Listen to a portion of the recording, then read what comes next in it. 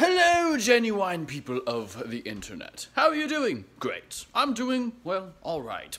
I was thinking about why not have a contest for INTPs or anyone else. You can be anyone and participate in this contest. And, um, well, see where it goes. Um, I'm thinking about potentially creating a, a video with the different um, contestants, people submitting to it. What is the contest, you ask? Well, I was really bored in Kansas one day, and I wrote a monologue slash soliloquy thing, and I thought it was interesting. It was a, it's a highly philosophical statement that, well, I'll leave it up to your interpretation. And I was thinking, hey, why not share this for um, with the rest of the internet and have you guys a um, say it um, in some dramatic or whatever fashion that you find most clever or creative, and in the end make a compilation of all the different um, submissions to it. So, um, I'm going to tell you uh, the the soliloquy. Um, or monologue, I guess it depends how you say it. Um, it'll also be in the description below. Um, but also, so yeah, make a video of you saying it, preferably like if you were um, uh, remember if you've memorized it or something, and be creative with it. Like have lighting and camera or whatever, something interesting or cool and something. However, it inspires you to articulate uh, the words being said. Um, if you have music, just make sure that it's not uh, like copyright or anything, because I would love to publish them or like put them on the YouTube channel and not have to have them be banned or anything silly because of copyright issues. Um, and so yeah, but if you have music like either you made it or a friend made it or something, then you all are in good standing.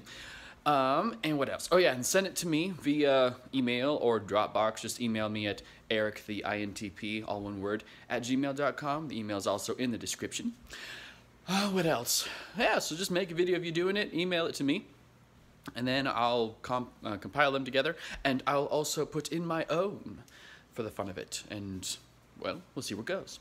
All right, and this isn't a real umbrella. This is like a light um, diffuser for those things. Hmm. So here is the soliloquy, and I'm not going to dramatize it.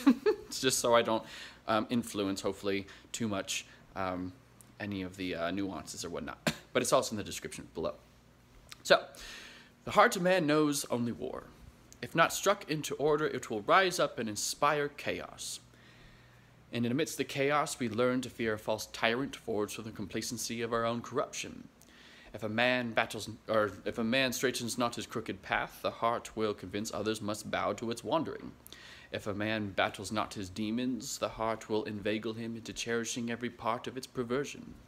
All who challenge his twisted desires will be marked as an enemy. Like slaves beaten by a wicked master, so are we if the heart conquers our vulnerable spirit, and if at that time we should wake, we will find a world torn apart by our own hands, or by our hands. Uh, vague will be our wisdom, and desperate will be our eyes for not recognizing the heart as the true tyrant. Mmm, yes. so that's it. Now, I might have missed a word or two in there, but I would love to hear how you guys say it in some dramatic or comedic function or fashion or whatever. Uh, send it to me, and yeah, it's just kind of whenever. And yeah, you don't have to be an INTP. Anybody can do this. Anyone. So I look forward to seeing your submissions, good sirs and madams of the internet. And I'll see you in another video in a little bit. Actually, we'll be in the same video. So, like, we'll be seeing each other in the same video. And it's like almost like another life. Wow, this is incredible. All right, see ya.